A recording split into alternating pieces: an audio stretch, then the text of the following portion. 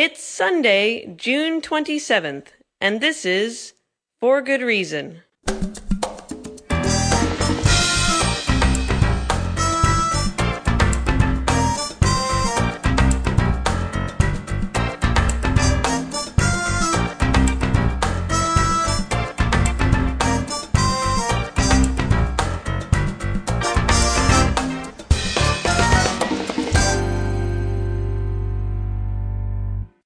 Welcome to For Good Reason. I'm DJ Grothe. For Good Reason is the radio show and the podcast produced in association with the James Randi Educational Foundation, an international nonprofit whose mission is to advance critical thinking about the paranormal, pseudoscience, and the supernatural. I'm really happy that my guest this week is Paul Kurtz. He's one of the founders of the worldwide skeptics movement He's professor emeritus of philosophy at the State University of New York at Buffalo and a founder of the Committee for the Scientific Investigation of Claims of the Paranormal, CSICOP. He's also founder of the Council for Secular Humanism and of Prometheus Books, and has served as editor in chief of Free Inquiry magazine and has edited Skeptical Inquirer magazine for many years. He's a fellow of the American Association for the Advancement of Science and has been featured very widely in the media on topics as diverse as reincarnation, UFO abduction, religious versus secular ethics, communication with the dead, uh, you name it. If it had to do with skepticism over the last many decades, he's talked about it. In fact, he's really advanced a critical thinking, a humanistic and skeptical inquiry into many of the most cherished beliefs society's had for the last 40 years. So, Paul Kurtz, it's a great pleasure to welcome you to For Good Reason. Delighted to talk to you, DJ. Always enjoyed your sharp questions. Well, thank you, Paul. Um, along with Randi, along with Martin Gardner, Carl Sagan, Isaac Asimov, Ray Hyman, this you know group of men in the '70s, uh, there were a couple others. You are one of the central founding figures of the modern skeptical movement. So before we get into exuberant skepticism, let me just ask you: Is the skeptics movement is it turning out like all of you planned in the mid '70s? Well, it's it's part of the landscape, and I'm pleased about that uh, I think I was the one who first initiated, and then I invited these other people, and I was delighted when they came to the State University of New York at Buffalo, where we got it going. You're one of you're what the social uh, scientists call a super connector. You bring people together. I don't know about that, but I do try to. Maybe I give them a shock. That's why they conduct this. Uh, that's how it gets going. But in any case, it got off to a good start. Immediately, I think it hit the front page of the New York Times, and uh, ever since that, it's now part of the landscape. So I'm pleased about that. I mean, people have talked about skepticism, but now it seems to be more current. Mm. And I think we're responsible for that to some extent. So you think it's had some impact? You're proud of where it's where it's uh, how it's turned out, but well, what much more to do, as you know. Right. There are foolish beliefs everywhere, mm-hmm. but yes, we've made a great deal of progress. Wouldn't you say though that uh, the shape of this worldwide skeptics movement it, it, was never really planned, right? A group of men didn't sit in a back room and, and kind of plot a 30 year plan for no, it to we turn didn't out plan this way. that. I, I, I, it seemed to me, growing out of my criticism of astrology, that was very successful, incidentally, that we need to critically examine other ideas. And so I did invite people here at a conference in Buffalo, and we got it launched, yes. Mm. And so it is widely used now, and, and particularly uh, in science and uh, in uh, politics and business and other areas when you say you're a skeptic and you doubt, and that's important. Mm. Not used widely enough, but the point is you're recognizing there has been impact. So, Paul, your new book is Exuberant Skepticism. Honestly, it's one of the best books I've read on these issues. It belongs on everyone's shelf right next to Sagan and Randi and the other classics, I think. So for you, skepticism is not just doubt. It's a kind of active inquiry. It's life affirming. Is that what you mean by exuberant skepticism as opposed to just run of the mill skepticism? Yes. I think you've touched on the key point that I wanted to make. Many people consider skeptics uh, to be cold fish, to doubt, doubt, doubt. And, and that form of skepticism is negative, and it has existed throughout history and still exists today. But there is a positive form of skepticism, and that's what I've been defending, and my colleagues have been doing it as well. Mm. So skeptics shouldn't be going around just doubting everything. Otherwise, there's not much difference between a scientific skeptic. Well, you know, the uh, I've had I've taught a lot of college students over the years. As we often touch on skepticism, and I find out many young college students are skeptics. They doubt everything. There's no such thing as knowledge. There's no truth. There's no such thing as values, good or bad, right or wrong and I try to show them that that is mistaken. So you argue for something you call selective doubt. It's not doubt in general, it's selective. If if you doubt in general, you never get up in the morning and go out. So you have to take things for granted and act on the best knowledge that you have. So you're right. Selective skepticism, which I consider not negative but positive. So, how does one decide, Paul, what to be skeptical of and what to accept? Well, I don't know that one decides that. In life, you encounter problems. You have questions of what is true and false. Issues of knowledge always arise. And this, the skeptical attitude is to uh, raise questions and uh, ask for evidence and reasons. And until you have that, then when someone claims something, it may not be true. And when you believe it, it may not be true unless you can show evidence for it. So you're zeroing in on evidence. That's the thing skeptics get all wound up about. Well, it's about the evidence. Evidence and also reasons. In many, uh, uh, like in a court of law, you argue a case, so you you reason it through. So evidence and reasons and consequences. Mm. If someone believes something, well, what are the consequences? So there. Uh, so uh, this fi- form of skepticism is a kind of practical knowledge. Mm by which you live. Paul, uh, you've argued that this kind of skepticism, this method of inquiry, it's the same that's used in the sciences. Is skepticism the same thing as science, or are you drawing a distinction? Well, science is based upon a method of inquiry, and, the, and modern science is developed by leaps and bounds, and still is, because it uses these rigorous methods to test claims to knowledge.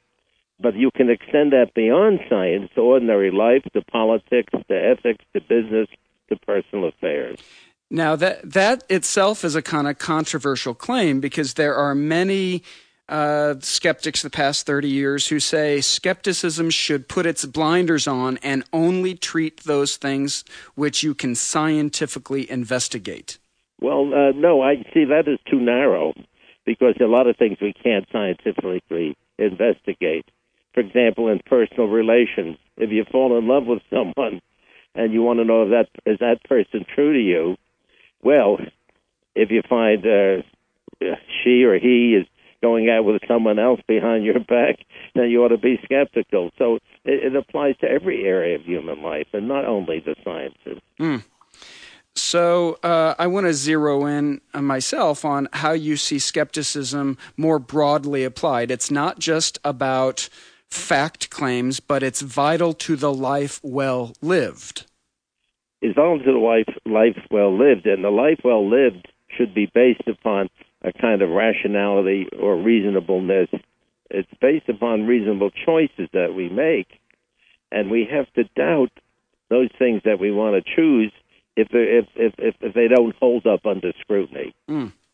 So, uh, but you, you've argued that it's more about just knowledge claims that may or may not hold up under scrutiny. It has to do with self liberation, escaping the bonds of prejudice, idols, avoidable errors, to use Popper's line. It's, it's really, you know, it's, it's, it, it like leads to a more enriched life. It's not just about being right or wrong. Uh, uh well stated indeed. I think it's the mark of the educated mind uh, the, and you can be educated without going to college or university.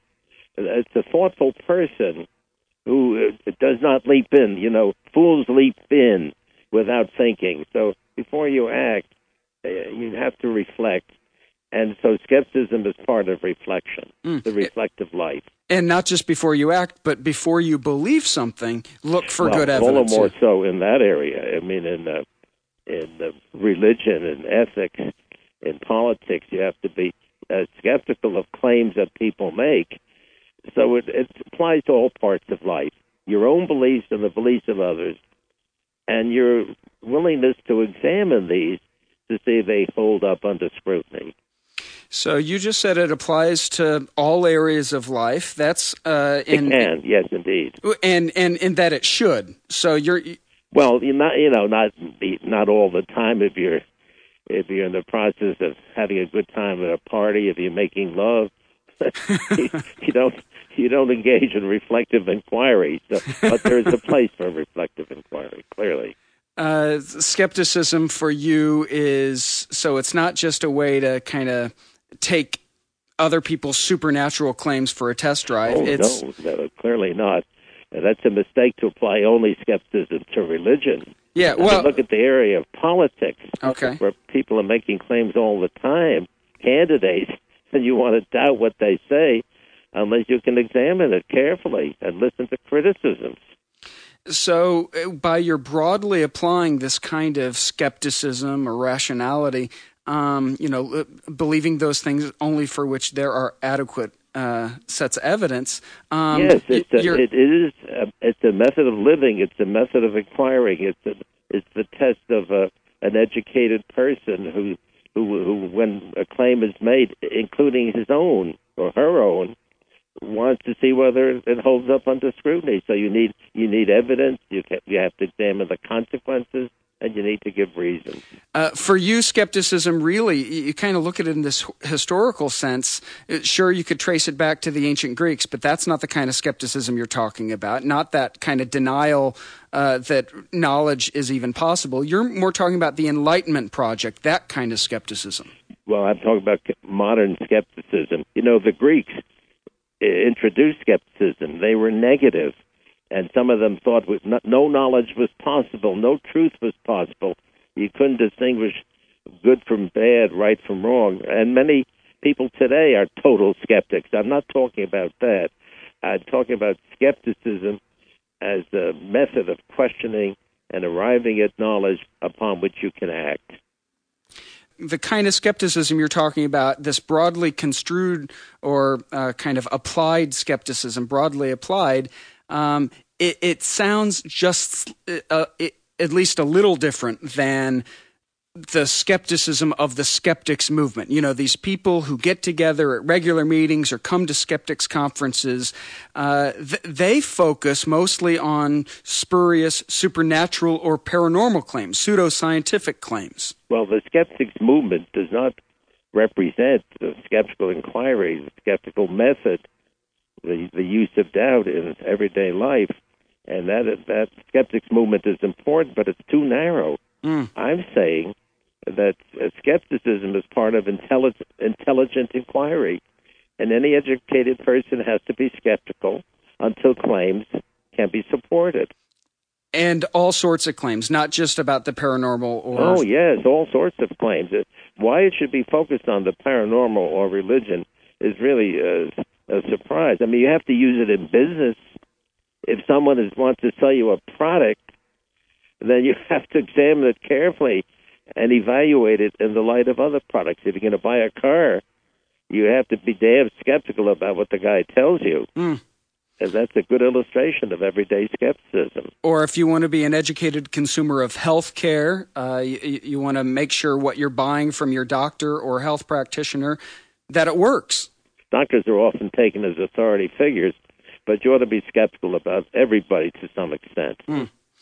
You, have actually, in recent years, almost argued that a lot of the topics that organized skepticism treats that they're sort of trivial, and that you think there are bigger fish to fry than whether or not Bigfoot exists. Of course, I mean, uh, as the one who introduced the paranormal in some sense, and the reason I did that because it was easy to uh, criticize Bigfoot or psychic claims or astrologers, and and people would be interested.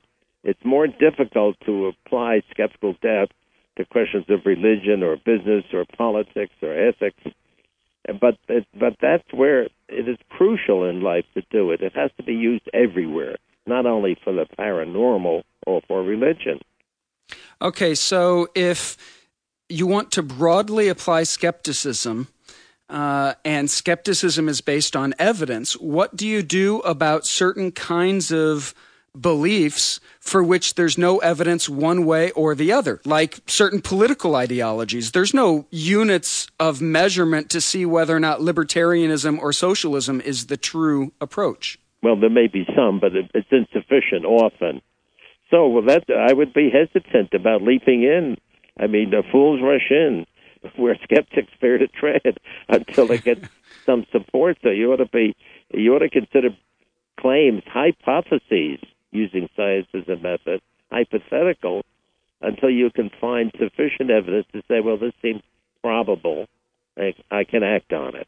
So you don't need certain knowledge, but you could have uh, reliable knowledge based on the probable likelihood of it being true. Well, we very rarely have certain knowledge.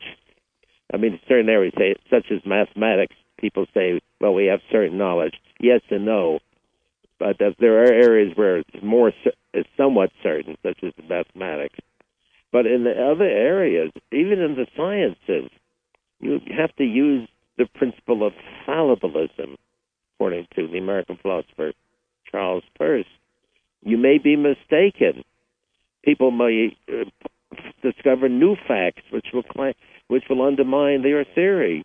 So you ought to be prepared to change any beliefs you have but ju- challenged. But just because you may be wrong, you're not uh, then therefore suggesting that you should withhold uh, adopting any positions whatever. Look, if I step off a curb and I want to get to the other side, and I see a car rushing rapidly, it's a student I flunked. I don't know whether he's going to hit me or not, but I'm sure as hell going to rush back to the other side. so you have to act. There's a kind of will to believe. Ah, okay. So it's a question of degree. Okay. Point is, skeptical doubt is an antidote to foolish beliefs, and it enables you to clarify beliefs and decide whether there's sufficient support for them. Uh, you were just talking about how some of the topics of skepticism over the past 30 years may have seemed trivial. And I don't think I'm putting those words in your mouth. I've heard you say as much many times, correct? Well, true. There are many questions amusing and fun to deal with, but you can't stop there. And the focus on the paranormal happened because it was safer to criticize these uh, foolish beliefs than others. But if you than other beliefs such as what? Well, beliefs in religion, you don't prepared to do that. Beliefs in politics, beliefs in business, beliefs in personal relationships, mm-hmm. whether you can trust a person. So you have to use common sense, critical common sense skepticism is part of common sense. Mm. So, uh, leaving aside that cheeky retort of skeptics who say there's no such thing as common sense because most people aren't sensible. Well, that criticism is well taken. Yeah. Because some people use common sense as commonly held beliefs, but they're widely different mm-hmm. often. So it's difficult to find universal beliefs. But by common sense, I mean intelligence the, the, the, ability of a thoughtful person to examine a claim and see whether it holds up. Yeah, and that sense of common sense is very important, and you need it not only in the sciences but in everyday life. I want to get back to this uh, topic. We were just talking about how you, as uh, one of the fathers of the worldwide skeptics movement here, um, you've suggested that so much of what the movement has concentrated on for the past 30 plus years has been somewhat trivial. I want to ask about that. Uh, e- even even if uh, you recognize that some of it's trivial, on the other hand, wouldn't you agree that so much of that stuff deals with our most basic and most cherished convictions the meaning of life, life after death, communication with loved ones, you know, deceased that's people. not trivial. I mean, there are trivial questions that have been examined and held, but there are important questions. And skepticism should be used everywhere without uh, hesitation. The reason why the the skeptics of modern days focus on paranormal beliefs because it was easy to criticize them But there are cherished beliefs that people hold dear, such as religion, and people are fearful of challenging them. But if it's if it is in a situation where you can do that without embarrassment, then you should. You just raised a lot of questions. Uh, maybe next time you're on the show, I want to talk about Yeah. whether or not religion can can be treated by skepticism. I want to begin finishing up by asking you about why, in the history of organized skepticism, the organizations have had a kind of um, non overlapping magisteria. I'm not talking about this notion in science that says science can't touch religion, for instance. I'm talking about how the organizations have said, you know, CSICOP's only going to deal with the paranormal and other organizations only going to deal with religion, but isn't it the same kind of skepticism that's applied to those various areas? Indeed, correct. You're exactly correct. Why use it only in one area? Because you feel it's safe and not in other areas. You ought to be prepared to use it in any domain where claims are made. Now, you, you can't, in a, in a party, get up and be the skeptic and shout your criticism. So it dep- depends on the appropriate uh, time and place. But in answer to your question, yes, the method of skeptical inquiry can be extended and should be to all areas of human knowledge and human action, and not only the paranormal. So, a uh, couple quick things. I don't think we ever actually defined what exuberant skepticism is, unless you just mean that it's life affirming, it's not just denying claims. Yes, well, that's the term I've used. It's the the, the title of a book, Exuberant Skepticism, that I published. Well, let me make a distinction first between negative skepticism, where you doubt everything, and that's a mistake. Second, positive skepticism, and I think positive skepticism is essential if we're to if we're going to develop knowledge and and make wise choices. And then third, exuberant skepticism, and that's what I've I've used. And my wife said sometimes says to me, "Please don't wake up again this in the morning exuberant. You know, you go overboard." but exuberant skepticism, I think uh, I relate that to the good life. When I believe happiness, exuberance, the realization of creative pleasures and joys are all a part of what it means to live well. And some some touch of skepticism is essential in that kind of life. So, you're saying you basically get a better life if you are skeptical. Well, uh, some skeptics I know are sour pusses, and they don't enjoy life. Everything is with balance. So, uh, but I think skepticism. Let me make this point, DJ, and you you touch on a central question. I think skepticism is an antidote for nonsense, and there are always nonsense in life, and also it's a method for discovering what's true or false. And yes, we should use it throughout life not only in the paranormal, but in everyday life and personal affairs and business, in the company you work for, if you're going to school, everywhere. Okay, uh, moral claims, religious claims, all of it. Yes, yes, it's a mark of uh, of the educated mind. So, uh, last question. Uh, we, we were talking a little about this division of labor and the organizations that advance skepticism in North America, at least. Do you think that there could ever be a full throttle um, group of institutions that advance skepticism in the public interest, or will skepticism always just be about clubs and meetings? You know, uh, skeptics in the pubs um, that where, where people just get together for fellowship and friendship, but they're not actually changing society. Well, I think you're raising the central question. No, skepticism should not become a cult where people get together and enjoy attacking other people's beliefs they think are foolish. Though that's not uh, that's that's important to some extent.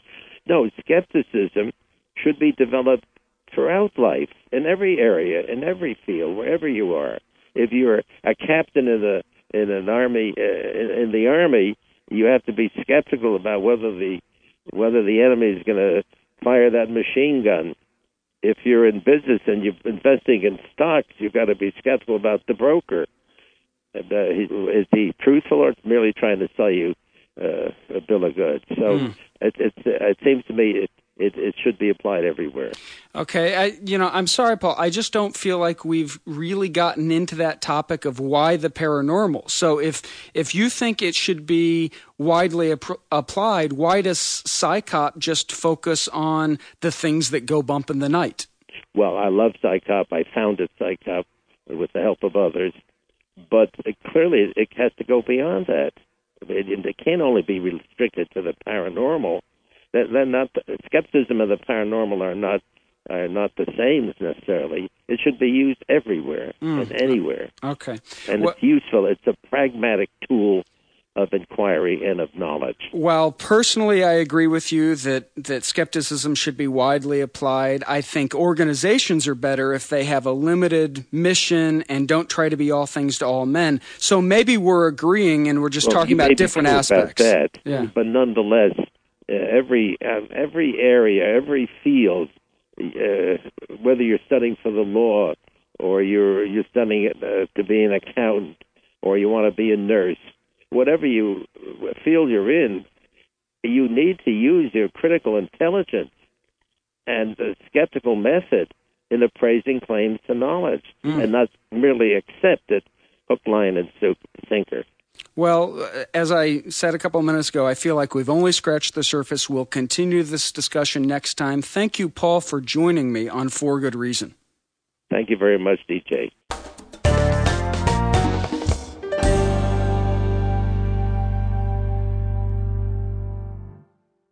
Thanks for listening to this episode of For Good Reason. To get involved with an online conversation about today's show, join the discussion at forgoodreason.org. Views expressed on For Good Reason aren't necessarily the views of the James Randi Educational Foundation. Questions and comments on today's show can be sent to info at forgoodreason.org.